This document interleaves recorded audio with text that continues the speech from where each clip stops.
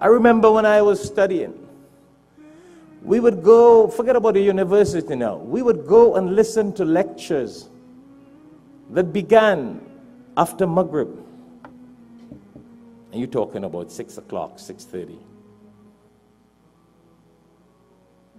They will stop for Isha Salah and go on and on until midnight. And by the thousands, people would gather. Huh? Have you guys seen that in some of the, the, the countries abroad? By the thousands, people would gather.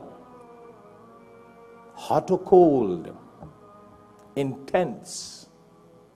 And they would listen for hours and hours of the Quran and the reminder and how we should stay on the right path and how we should stay away from wrong things. Interesting, huh? We're in a time nowadays where people can't even spend an hour in the masjid.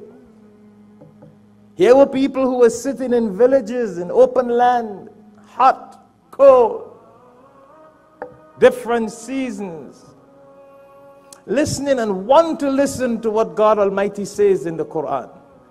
And for our non Muslim guests, when we say Allah, Allah, Allah, we mean the God. Al, the, none like him. So you will hear me saying Allah.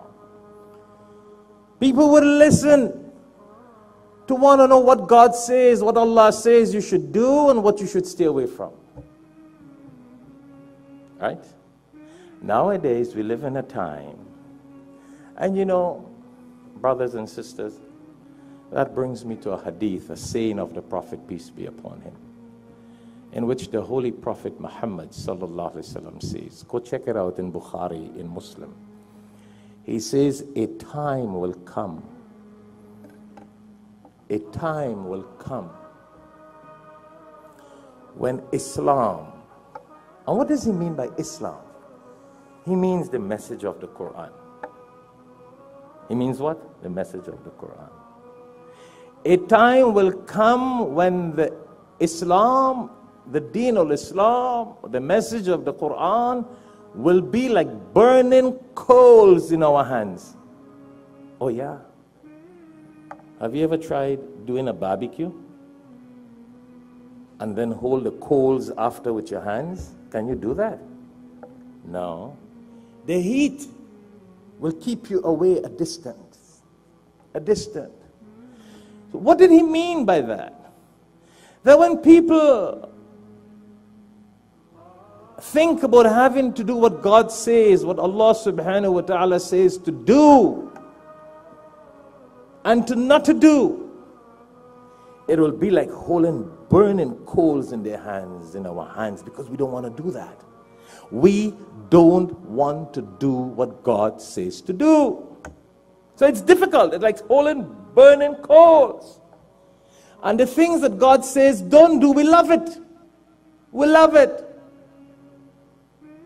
the haram things, the illegal things, the things that are not permissible in Islam. We love it.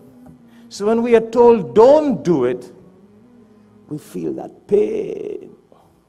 It's like burning coals, not only in our hands, but burning coals in our hearts. Yeah. But at the end of the day, we can't go around condemning the Quran, right? Right? Hafiz Munir side. So you won't condemn the Quran and say, well, the Quran is wrong. The Quran is wrong. What do you do? You condemn the preachers. You hate the sheikhs. You hate the imams. You hate the hufaz. You hate the people who bring the message. Someone's here. That's what happens.